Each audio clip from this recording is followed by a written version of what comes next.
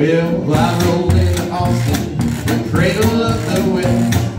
Just then said cowboy, well, to tell you it's the best. I met a southern beauty, I got friendly with her pop. Stared into her big blue eyes, and this what I saw. I saw miles and miles of Texas. And stars and